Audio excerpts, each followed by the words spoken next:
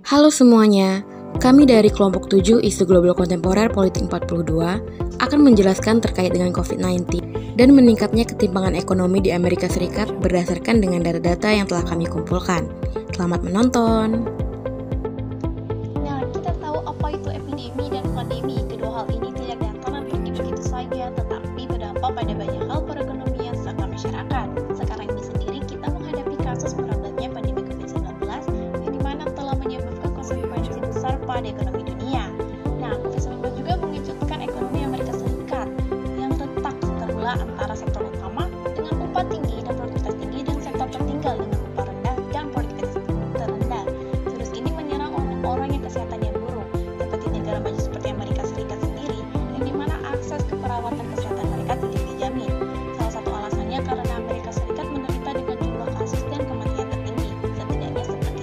yang diberitakan.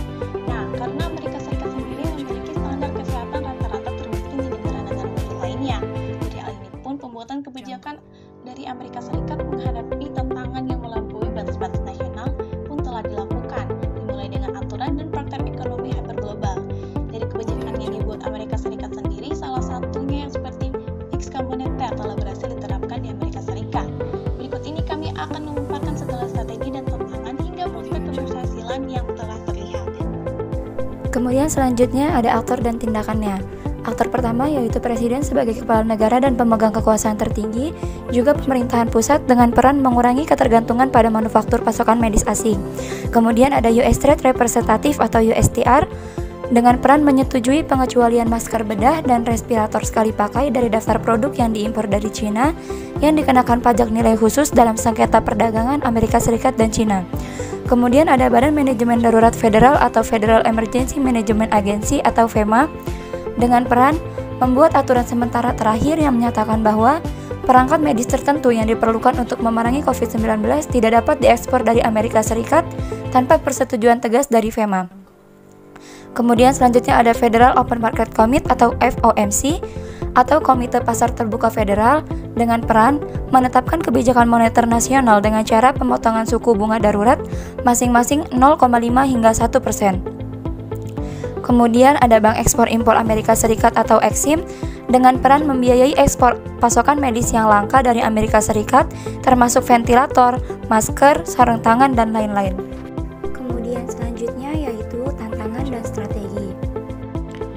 Pertama, menyetujui bantuan COVID-19.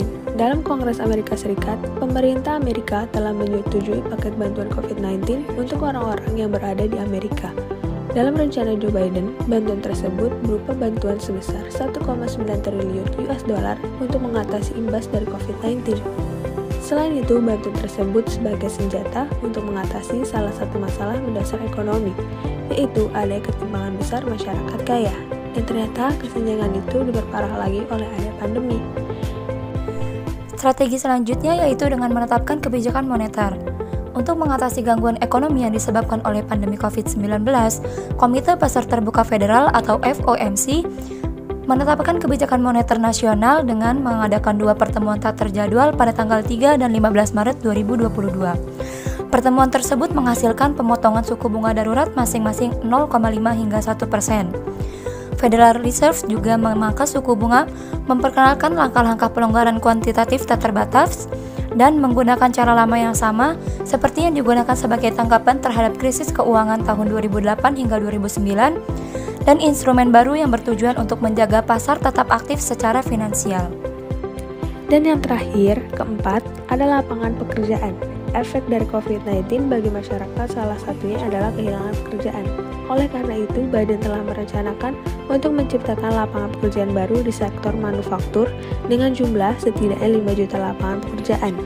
Karena itulah Biden ingin menginvestasikan 400 miliar US dollar pada proses pengadaannya, sehingga diharapkan bisa mendorong permintaan untuk produk dan jasa layanan Amerika Serikat.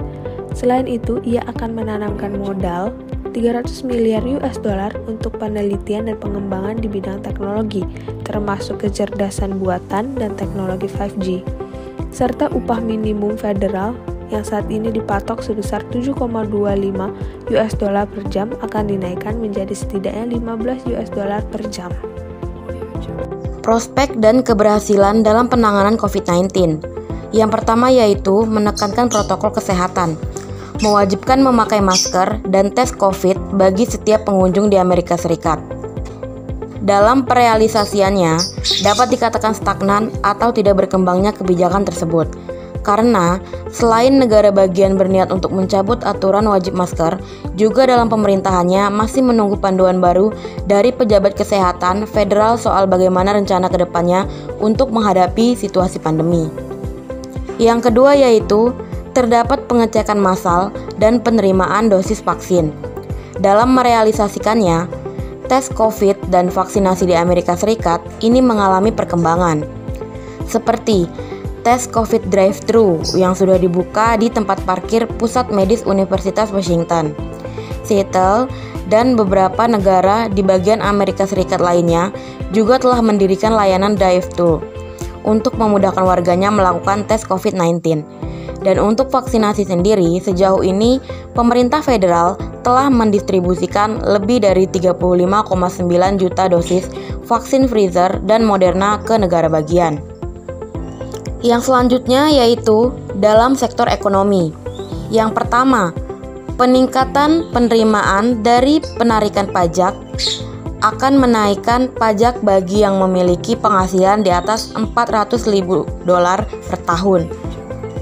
Di California, Georgia, dan Ohio, realisasi penerimaan pajak tercatat sudah melebihi proyeksi pada masa awal pandemik. Yang kedua yaitu lapangan kerja yang memiliki tidak sesuai dengan apa yang diharapkan. Karena Amerika Serikat kekurangan pekerja serta anomali dengan apa yang disebut sebagai penyesuaian musim. Dan yang terakhir yaitu adanya paket bantuan COVID berupa bantuan ekonomi dalam Kongres Amerika Serikat. Bantuan tersebut berupa bantuan sebesar 1,9 triliun dolar untuk mengatasi imbas dari COVID-19. Nah, dari penjelasan yang telah kami jabarkan tersebut, teori yang kami gunakan ialah teori ekonomi, di mana adanya teori ekonomi growth dan teori ekonomi Keynesian baru. Alasan kami menggunakan teori ini yaitu karena ekonom Keynes sangat merekomendasikan mengadopsi kebijakan-kebijakan yang digunakan oleh Amerika Serikat. Nah, salah satunya yaitu kebijakan fiskal yang meningkatkan dalam daya beli masyarakat yang diadopsi serta hal lainnya. Dan di sini juga karena adanya gabungan teori ekonomi dengan model epidemiologi dan membangun model interdisipliner, di mana adanya masalah-masalah yang dihadapi seperti pasokan tenaga kerja secara dinamis dibatasi oleh kondisi pandemi. Pada hal ini menunjukkan bagaimana wabah penyakit menular mengurangi pasokan tenaga kerja, menurunnya pendapatan, dan lain-lain, dan berdampak negatif juga pada output ekonomi. Dalam teori ini juga kami menggunakan karena kami melihat akumulasi modal kesehatan dapat menekan penyebaran penyakit dan meningkatkan tingkat pemulihan individu yang terinfeksi, yang nantinya akan mengurangi kendala pasokan tenaga kerja, dan yang terakhir tentunya ketika pandemi terkendali, produksi kembali layak maka paket stimulus ekonomi dapat mengarah pada pemulihan ekonomi. Pandemi COVID-19 adalah wabah yang menjadi cobaan bagi seluruh negara yang ada di dunia, tidak terkecuali Amerika Serikat sebagai negara adidaya. Pandemi ini menyerang ke segala sektor kehidupan, salah satunya yaitu ekonomi. Amerika Serikat termasuk ke dalam jajaran negara maju pun mengalami ketimpangan ekonomi selama pandemi ini muncul. Oleh karena itu, pemerintah dan beberapa aktor lainnya mengupayakan strategi-strategi yang dianggap mampu untuk mengembalikan stabilitas ekonomi negara. Beberapa strategi yang dilakukan yaitu mengesahkan undang-undang stimulus sebagai tanggapan terhadap COVID-19, menyetujui adanya bantuan COVID-19, menggiatkan pemasukan negara, dan melakukan pengetatan terhadap kondisi pasar tenaga kerja. Meskipun semua hal telah dilakukan, namun belum dapat mengembalikan stabilitas ekonomi seperti sebelumnya. Tapi setidaknya sudah lebih baik jika dibandingkan dengan keadaan ekonomi negara di pada masa awal pandemi. Itu saja yang bisa kami sampaikan. Terima kasih